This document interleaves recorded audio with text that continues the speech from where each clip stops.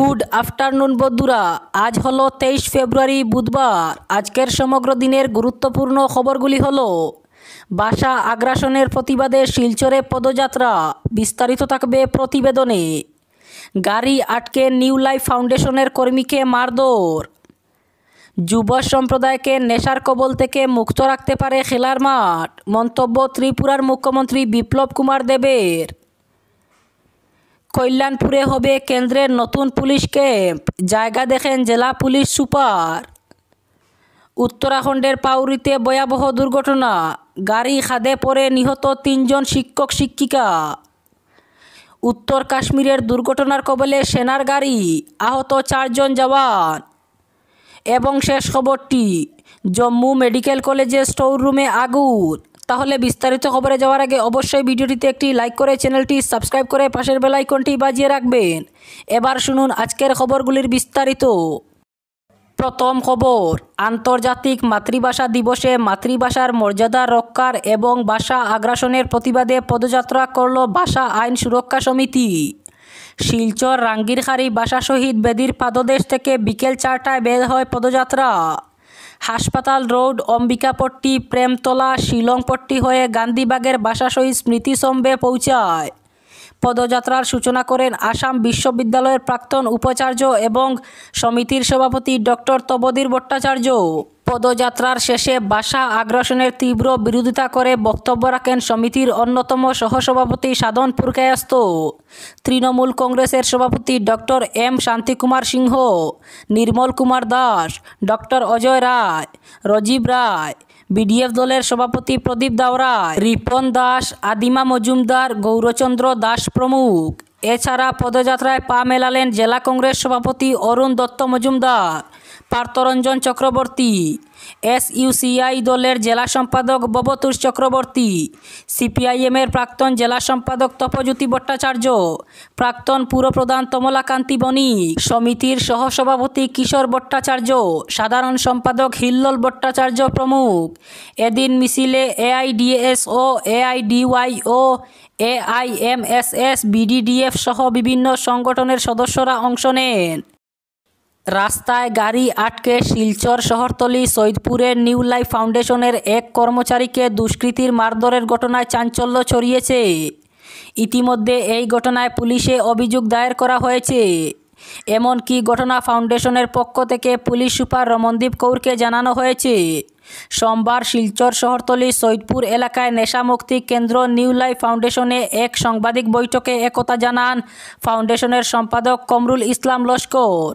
Manager Dipankar Barman ও অসীম দেব। তারা জানান, রবিবার বিকেলে শিলচর কালাইন রোডের তারাপুর অসমিয়া বস্তি এলাকায় কালাইন থেকে নিউ লাইফ ফাউন্ডেশনের কর্মীরা পিক গাড়ি করে রুগী নিয়ে ফিরে আসার সময় মজুমদার বাজার সংলগ্ন এলাকায় টুয়েলভ স্টেপ ফাউন্ডেশনের কর্মকর্তা রাজদীপ দত্ত, স্মৃত গ্রুহু দীপ ভট্টাচার্য ও রাজন দাস গাড়ি আটকে কর্মীদের গালিগালাজ করে। পাশাপাশি গাড়িতে থাকা আজমল হোসেনকে হুমকি দিয়ে মারধর করে। হঠাৎ করে রাস্তায় গাড়ি দাঁড় করিয়ে সহযোগী কর্মচারীর উপর হামলায় ঘটনায় আতঙ্কিত হয়ে পড়েন অন্যরা। অভিযুক্তদের মধ্যে রাজদীপ দত্ত, আজমল হোসেনকে মারধর করার পাশাপাশি তার কাছ থেকে মোবাইল ফোন ও নগদ পঁয়ত্রিশশো টাকা ছিনিয়ে নেয় তারপর গাড়ি চালক প্রাণ বাঁচাতে কোনোক্রমে গাড়ি নিয়ে সেখান থেকে চলে আসেন।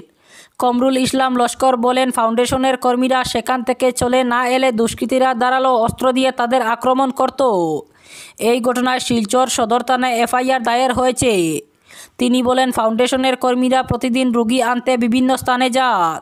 ফাউন্ডেশন সমাজের স্বার্থে কাজ করে যাচ্ছে। যুব সমাজকে নেশামুক্তি করার জন্য ফাউন্ডেশন কাজ করছে। কিন্তু এভাবে কোনো কারণ ছাড়াই ফাউন্ডেশনের কর্মীদের রাস্তায় আটক করে মারধর, হুমকি মেনে নিতে পারছেন না তিনি। এ ব্যাপারে তদন্ত করে দোষীদের বিরুদ্ধে কঠোর ব্যবস্থা নেওয়ার জন্য পুলিশ প্রশাসনের দৃষ্টি আকর্ষণ করেন তিনি। যুব সম্প্রদায়কে নেশার কবল থেকে মুক্ত রাখতে পারে খেলার মাঠ। তাই যুব সম্প্রদায়কে খেলার মাঠের সাথে আরও বেশি করে যুক্ত করতে হবে। গতকাল আগরতলার কলেজ টিলাস্থিত এমবিবি কলেজ মাঠে অনুষ্ঠিত স্বর্গীয় হিরুদন দেব স্মৃতি নকআউট টেনিস ক্রিকেট টুর্নামেন্টের উদ্বোধন করে একথা বলেন ত্রিপুরার মুখ্যমন্ত্রী বিপ্লব কুমার দেব। অনুষ্ঠানের শুরুতে মুখ্যমন্ত্রী তার পিতা স্বর্গীয় হিরুদন দেবের প্রকৃতিতে পুষ্পার্ঘ অর্পণ করে শ্রদ্ধা নিবেদন করেন। তিনি তারপর টুর্নামেন্টের পতাকা উত্তোলন করেন। খেলার শুরুতে দুই দলের খেলোয়াড়দের সাথে পরিচিত হন মুখ্যমন্ত্রী। অনুষ্ঠানে বক্তব্য রাখতে গিয়ে মুখ্যমন্ত্রী বলেন, নিষিদ্ধ নেশাজাতীয় দ্রব্য ব্যবহার এবং এইচআইডি সংক্রমণ প্রতিরোধে রাজ্য সরকার অপুষহীন দৃষ্টিভঙ্গি নিয়ে কাজ করছে। উন্নত ত্রিপুরা গড়ার মধ্যে দিয়ে এই প্রজন্মের ছেলেমেয়েদের নতুন দিশায় নিয়ে যেতে উদ্যোগী হয়েছে বর্তমান সরকার। মিশন একশো বিদ্যাজ্যোতি বিদ্যালয়ে রাজ্যের ছেলেমেয়েদের উজ্জ্বল ভবিষ্যৎ গড়ার লক্ষ্যে এক নতুন দিশারি। মুখ্যমন্ত্রী বলেন, এমবিবি কলেজ রাজ্যের একটি ঐতিহ্যবাহী কলেজ। আধুনিক ত্রিপুরার রূপকার মহারাজা বীর বিক্রম কিশোর মানিক্যের নামে এই কলেজের সুনাম যাতে অক্ষুণ্ণ থাকে সেদিকে ছাত্রছাত্রী সহ নাগরিকদের সজাগ দৃষ্টি রাখার উপর তিনি গুরুত্ব আরোপ করেন। অনুষ্ঠানে ত্রিপুরা ক্রিকেট অ্যাসোসিয়েশনের সভাপতি ডক্টর মানিক সাহা বক্তব্য রাখেন। কল্যাণপুরে পুলিশ ক্যাম্পের জায়গা পরিদর্শন করলেন জেলার পুলিশ আধিকারিক বানুপত চক্রবর্তী। কল্যাণপুর থানা এলাকার প্রমোদনগর গ্রাম পঞ্চায়েতের অধীন বৈষ্ণব কলোনি গ্রামের জায়গা পরিদর্শন করেন জেলা পুলিশ আধিকারিক সহ কল্যাণপুর থানার ওসি শুভ্রাংশু ভট্টাচার্য, সমাজসেবী জীবন দেবনাথ সহ অন্যান্যরা। খবরে জানা যায়, দীর্ঘ দু হাজার সালে প্রমোদনগর গ্রাম পঞ্চায়েতের অধীনে থাকা প্রায় চারশো পরিবার উগ্রপন্থা সহ বিভিন্ন কারণে ওই জায়গা সহ নিজেদের বিটেমাটি ছেড়ে দাওসরা এলাকা সহ অমর কলোনি এলাকায় চলে যায়। তখন সময়ে নাম দেওয়া হয় দাওসরা শিবির এবং অমর কলোনি শিবির। দীর্ঘ টানা বাইশ বছর ধরে শিবিরগুলোতে বসবাস করছে, চলেছে ওই এলাকার পরিবারগুলো। দীর্ঘ বছরের অবসান কাটিয়ে নিজেদের জায়গায় পৌঁছতে চলেছে শুধু সময়ের অপেক্ষা মাত্র। উত্তরাখণ্ডের পাউরি জেলায় নিয়ন্ত্রণ হারিয়ে গভীর খাদে পড়ে গেল যাত্রী বুঝাই একটি গাড়ি। এই গাড়ি দুর্ঘটনায় নিহত হয়েছেন তিনজন। নিহতরা পেশায় ছিলেন শিক্ষক, শিক্ষিকা। এছাড়াও দুজন গুরুতর আহত হয়েছে। মঙ্গলবার দুর্ঘটনাটি ঘটেছে পাউরি জেলার কটদ্দারে নিহতদের নাম পুনম রাওয়াত, বন্দনা ভান্ডারী ও দীপক শাহ। কোটদ্দার সার্কেল অফিসার গণেশলাল কোহলি জানিয়েছেন, মঙ্গলবার কোটদ্দার থেকে গুমখাল যাচ্ছিলেন সকলে। আচমকায় নিয়ন্ত্রণ হারিয়ে গভীর খাদে পড়ে যায় তাদের গাড়িটি। কিছুক্ষণের উদ্ধার কাজ চালিয়ে দুজনকে জীবিত অবস্থায় উদ্ধার করা হয়। কিন্তু দুই মহিলা সহ তিনজনকে প্রাণে বাঁচানো যায়নি। আহত অবস্থায় দুজনকে হাসপাতালে ভর্তি করা হয়েছে। জম্মু ও কাশ্মীরের বারামুল্লা জেলার সুপুরে দুর্ঘটনার কবলে পড়ল সেনাবাহিনীর একটি গাড়ি।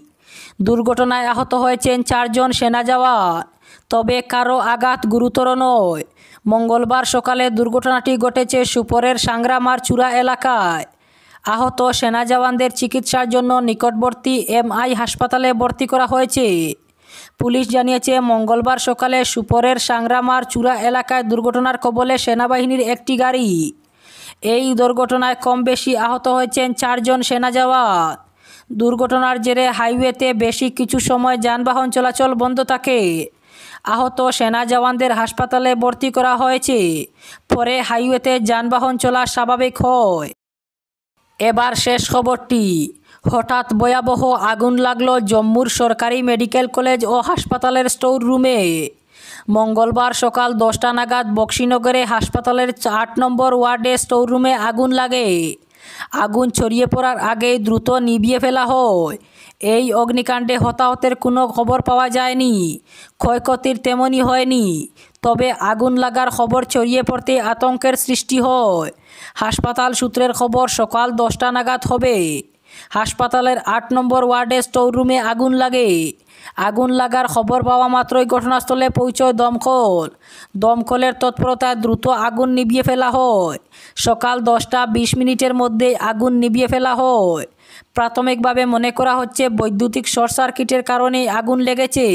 এই ছিল আজকের বিশেষ বিশেষ খবরগুলি। ভিডিওটি অবশ্যই লাইক করে, শেয়ার করে দেবেন।